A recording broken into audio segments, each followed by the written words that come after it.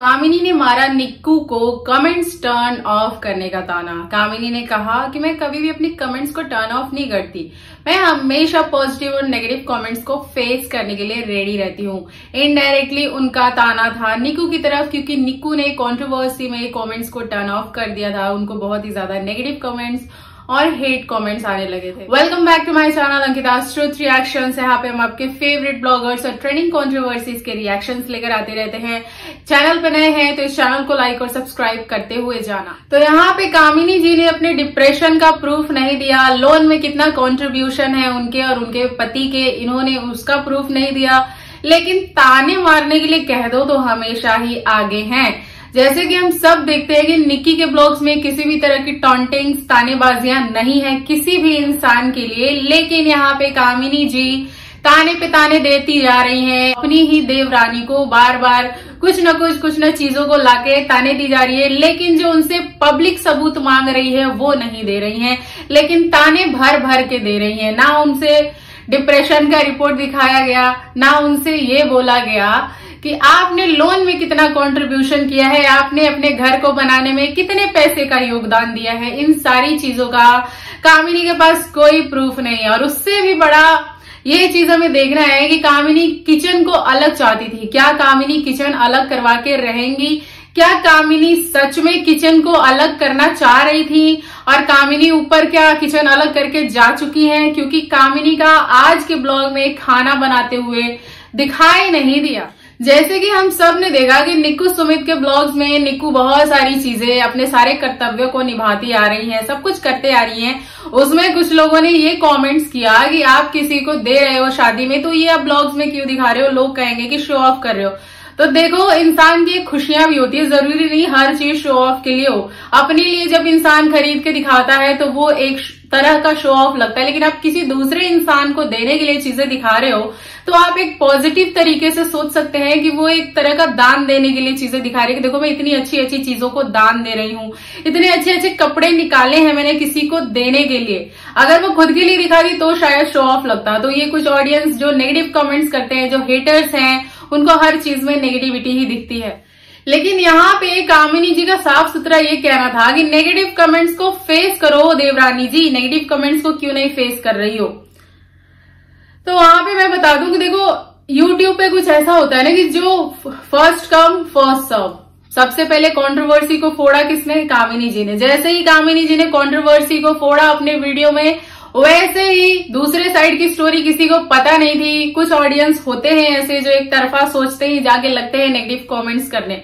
और जब जब इंसान को लगता है कि यार मेरी तरफ़ की बातें किसी ने सुनी ही नहीं और बिना सुने इतने गंदे गंदे कमेंट्स कर दिए तो उस इंसान का दिल तो टूट ही जाता है, वो अंदर से टूट जाता है। तो शायद यही नेगेटिविटी से बचने के लिए निक्कू ने कमेंट्स को टर्न ऑफ़ किया और वो भी सिर्फ़ एक वीडियो में, क्योंकि पहले वीडियो कामिनी जी का आ चुका था, जिसकी वजह से लोगों के मन में हेट बैठ चुकी थी निक्कू के लिए, है ना?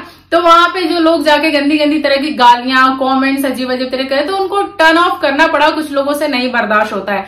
लेकिन बाकी के वीडियोस में हमने देखा कि निक्कू के कमेंट्स ऑन रहने लगे हैं, और अब तो हर तरह के कमेंट्स निक्की के चैनल पे आ रहे हैं, ठीक है?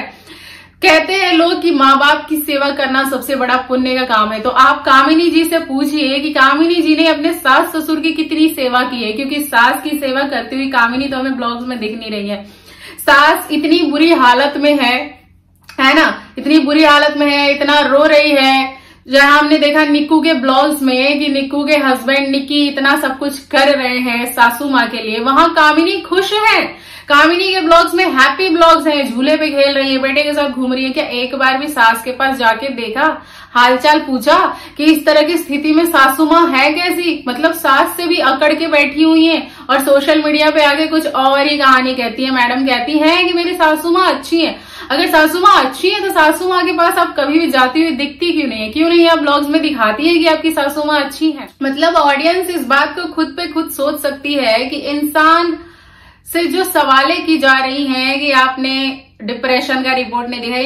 इस बारे में उन्होंने एक बार चर्चा नहीं किया, बल्कि ऑडियंस को इमोशनल करने के लिए बहुत सारी बातें बताई।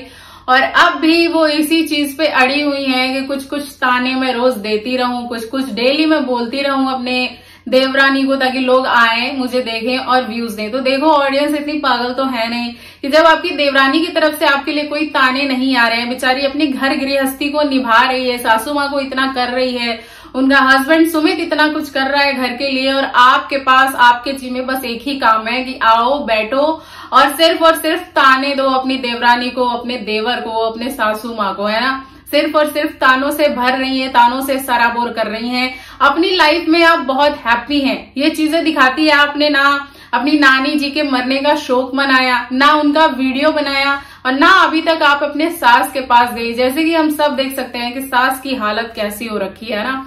सासू माँ की हालत अभी कुछ ज़्यादा ही खराब है। सासू माँ एक स्थिति में नहीं है कि वो कुछ कह पाए, कुछ सोच पाए। वहाँ पे हम कामिनी जी के ब्लॉग्स देखते हैं कि इतने खुशनुमा है। सिर्फ़ सोशल मीडिया पे आकर दुख जता देने से नहीं होता है कि आप दुखी हैं। उसके पीछे ऑडियंस देख भी रही होती है कि आप कितनी ज़्यादा दुखी हैं। जो आप बातें कह रही हैं, वो आपके गेस्टर से मैच भी कर रहा है कि नहीं कर रहा है। अगेन मैं यहाँ पे फिर से बोलना चाहती हूँ कि किचन अलग करने का मुद्दा था।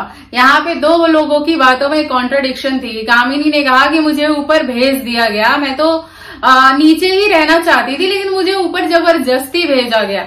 यहाँ पे कामिनी के देवर सुमित का कहना था अपने वीडियोज़ में कि मैं और हम लोगों ने मिलकर उनको अलग नहीं किया। वो खुद ऊपर गई हैं। वो अपनी हरकतों से ऊपर गई हैं वहाँ पे और खुद जाके वो रहना चाहती है। मतलब ओवरऑल हम ये समझे कि कामिनी अब अलग रहना चाहती हैं, लेकिन अभी क्या ही उम्र हुई है अलग रहने की। अभी तो इनके बच्चे भी छोटे छोटे हैं क्या? इसी एज में अभी within a four five years of निकूज marriage वो अलग होना चाहती हैं। क्यों अलग होना चाहती है? इट्स बिकॉज़ कि अब उनके पास पैसे हो गए हैं। अब वो खुद कमा खा सकती हैं। अब उनके पास किसी का सहारा नहीं है, इसलिए अलग होना चाहती हैं।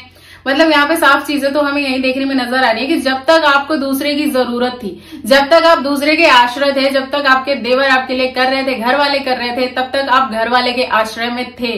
और आज जैसे ही आप अपने पैरों पे खड़े हुए, आपके पास चंद पैसे क्या आए, आपने सारे रिश्ते नाते को बुला दिया, आप अब अलग रहना चाहते हो हर जगह। और यहाँ पे भी अलग इन द सेंस कि ये खुद का पैसा घर खरीद के अलग नहीं रहना चाहती हैं। ये एक तरह की दादागिरी हुई ना कि मैं इसी घर में रहूँगी, ऊपर रहूँगी और अब मैं पैसे नहीं दूँगी, मेरे पास पैसे हो गए। तो अगर जीवन भर लोगों ने आपके खर्चे चलाए तो यहाँ पे आपका भी ये कर्तव्य बनता है कि आप अब पैसे वाली हो गई हैं, आपके पास पैसे आए हैं तो आप भी अपने परिवार के लिए वो चीज़ें करें, वापस लौटाए लोगों के किए हुए चीज़ों को, जो लोगों ने आपको किया। आप उनको करके वापस लौटाइए, लेकिन यहाँ पे आपने तो जैसे ही, कहते ना, अपना उल्लू जैसे ही सीधा हो गया, आपने सबसे किनार कर दिया, ना सास की परवाह है न ससुर की परवाह है। खैर, ससुर जी तो दिख जाते हैं, क्योंकि ससुर जी काफ़ी भोले भाले हैं ना। ससुर जी को ज़्यादा दुनियादारी से मतलब नहीं है, इसलिए ससुर जी को ये थोड़ा बहुत चाय पानी वगैरह कर देती है। लेकिन सासू माँ थोड़ी बहुत उंगलियाँ उठा देती होंगी इनकी गलतियों पे तो सासू माँ भी दुश्मन है। कितनी बार आपने सास को अपने वीडियोस में दिखाया? कितनी बार आपने अभी जिस ट्रॉमा से आपकी सासू माँ गुजर रही है, कितनी बार आपने बताया अपनी सासू माँ के बारे में? कितनी बार केयर की? कितनी बार जाके ब्लॉग्स में अपनी सासू माँ को दिखाया आपने? आप कहती हैं कि मेरी सासू माँ को ब्लॉग्स में आने के लिए मना करते हैं धमकाया जाता है। सासू माँ आपकी आके ये बोल रही थी वहाँ पे कि मुझे कोई क्यों धमका सकता है? मेरा अभी पति ज़िंदा है मैंने ये घर खुद से किया है सब कुछ मुझे कि, कोई क्यों धमकाएगा? मैं किसके सहारे हूँ? और बात भी सही है। सासू माँ किसके सहारे है कि उनको कोई धमका देगा या कुछ भी कह देगा? आपकी बातों में ही सारा झोल है कामिनी जी। आप बहुत चलाकी से खेल खेल रही है सोशल मतलब एक माँ ऐसी हो सकती है कि एक बेटे से डर जाएगी और दूसरा बेटा उसको नहीं धमका सकता है। उससे वो नहीं डरेगी, है ना? यही बातें आपका कहने का मतलब है, जो कि साफ़ साफ़ हमें समझ में आता है कि झूठ है। एक माँ एक बेटे के लिए सिर्फ़ एक बेटे को करेगी और क्योंकि वो उसको धमका रहा है कि अब ब्लॉग्स में नहीं आना है मतलब आपके ब्लॉग्स में नहीं आना है, उनके बेटे ने बोल दिया तो वो नहीं आएँगी, है ना? माँ का भी कुछ दिल होता है, माँ का भी दिल टूटता है। आपने, हो सकता है कुछ ऐसी चीज़ें करी हैं, जिसकी वजह से आपके सासू माँ का दिल टूट गया है, क्योंकि आपने खुद ही अपने मुँह से ये बातें बोली है कि देवर की सगाई में मैं रोकर गई थी, तब तो आपकी देवरानी भी नहीं आई थी, जो आज अपने देवरानी को आप इतना ज़्यादा ताने दे रही है, वो देवरानी उस टाइम पे नहीं आई थी तो ऑब्वियस बात है, ये लड़ाई आपकी किससे हुई थी? अपनी सासू माँ से। तो आपकी सासू माँ के सामने आपकी इमेज ऐसी कुछ बन गई है कि सासू माँ आपको नहीं पसंद कर पा रही हैं। ये चीज़ें आप क्यों नहीं बताती हैं सोशल मीडिया के आगे कि आप क्यों रोक कर गई थी? सो so, ये वीडियो आपको अच्छा लगा हो तो इस चैनल को लाइक और सब्सक्राइब करते हुए जाना।